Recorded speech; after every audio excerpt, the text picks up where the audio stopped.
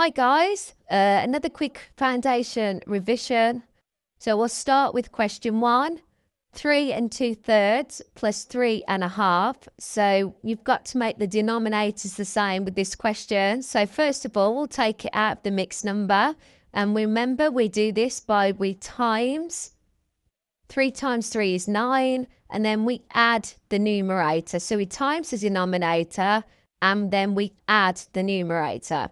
So in this case, 3 times 3 is 9 plus the 2 is 11. So we now have 11 over 3. Remember the denominators do not change.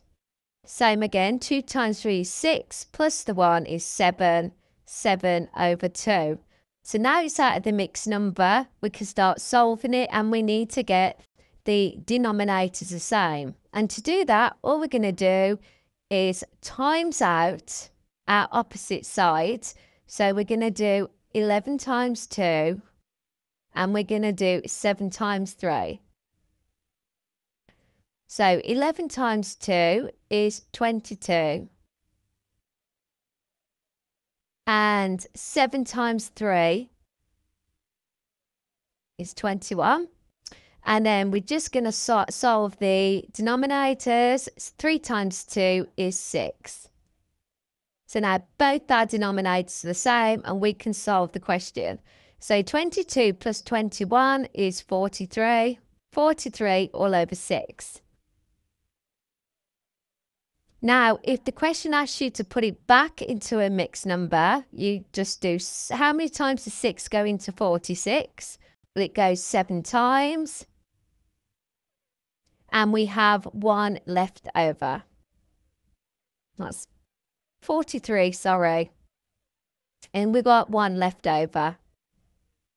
So that would be the answer in a mixed number. So we have 43 over 6 and 7 and 1 over 6 as a mix. Number two, it's a, a subtraction. Once again, we have to get the denominators the same. So we're going to do exactly the same. So we're going to do 1 times 2 is 2 plus the 1 is 3. So that's 3 over 2. Subtract 1 times 3 is 3 plus the 1 is 4.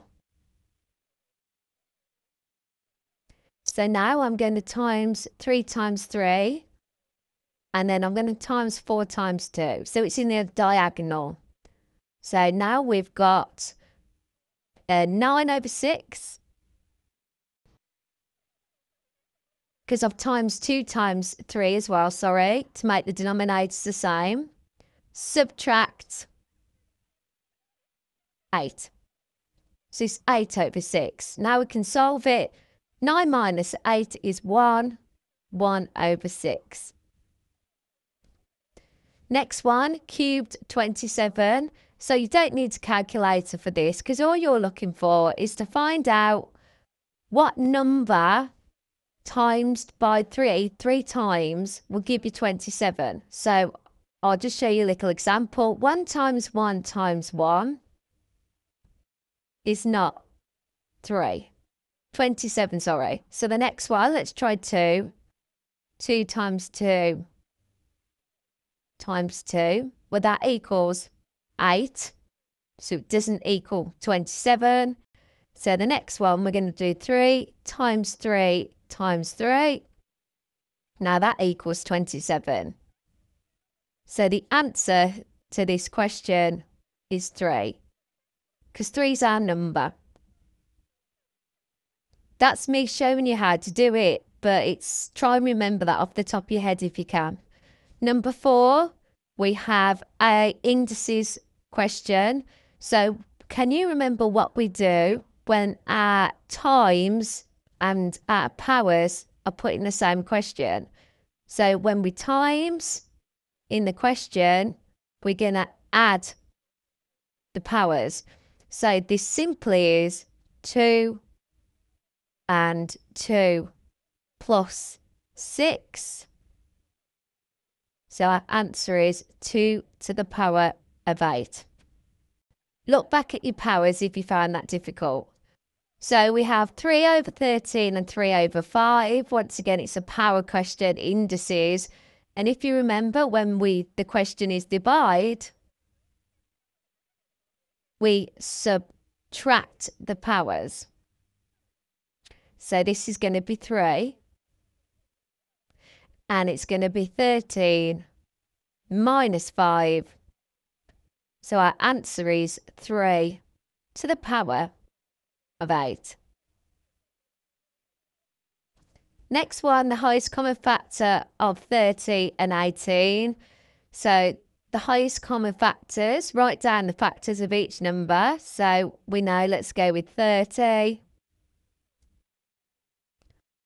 1 goes into 30, 2 goes into 30, 3 does, 4 doesn't, 5 goes in, 6 goes in, 10 goes into 30, 15 goes into 30, and then 30 goes into 30. Right, let's do 18. 1 goes in, 2 goes in, 3 goes in, 5 does not, 6 does, because 6 times 3 is 18. 9 goes in twice, and then we have 18. So now we're looking for the highest common factor, and our highest common factor of this question is going to be 6. So that's our highest common factor. So the next question, we're asked to find the lowest common multiple. And we've got three numbers to do 24, 36, and 90. So I'm going to do a prime factor tree for all three. So I've got 24. So I've done 2 times 12. And 2 times 6. And then 2 times 3 put that all together. So I've got 2 to the power of 3, because that was 1, 2, 3, times 1, 3.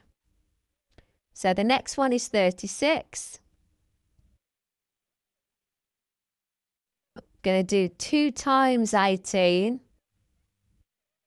Then I'm going to do 2 times 9.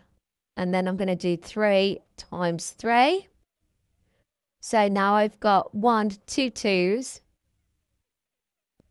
times 3 to the power of 2. And then finally, I'm going to do 90. 2 times 45. Remember, it doesn't have to be these numbers. It's whatever works. And then I'm going to do 5 times 9 is 45. And then I'm going to do 3 times 3. So this one, I have 1, 2 two lots of three, so that's three squared times five. Okay, so got all my numbers. So when you're looking for the lowest common multiple, you are then looking for the highest power of each prime that appears. So I've got 2 to the power of 3 here. I've got 3 to the power of 2 here. And then my biggest here is 5. Imagine there's a 1 there if that helps. So now we just got to multiply them all out.